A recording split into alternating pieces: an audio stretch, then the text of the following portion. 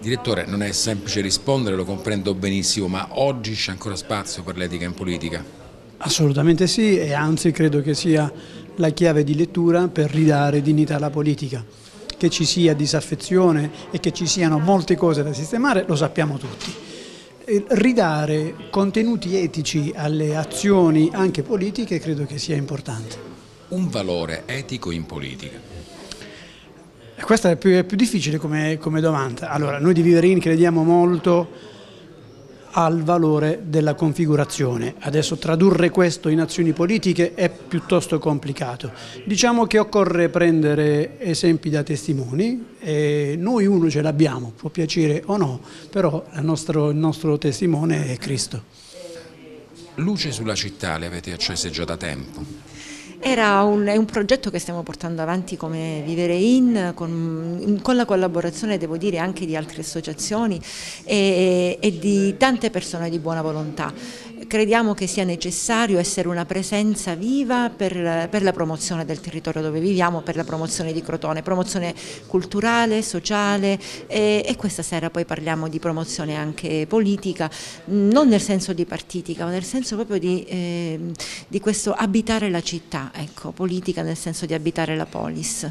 Quanto è importante, professoressa Via, l'etica nella polica? È, l'essenza della politica, non si può dire di abitare la città con dignità senza avere delle regole di riferimento. E, mm, Ecco, bisognerebbe con decisione eh, lasciare da parte il cinismo e mm, mettersi al servizio dell'uomo e, eh, con, e farlo con onestà intellettuale. L'etica in politica è importante, oggi si applica a suo avviso? Ma eh, io se devo dire la verità sono eh, in un mondo in cui, che non è il mio effettivamente, perché io come ho sempre detto eh, e ribadisco anche, non sono una politica nel vero senso della parola. Io ho vissuto tutta la mia vita combattendo nella società civile e, e mh, mm, ritengo di voler portare gli stessi valori che hanno sempre eh, diciamo, caratterizzato la mia vita in eh, che ho seguito in tutta la mia vita anche nell'agone politico.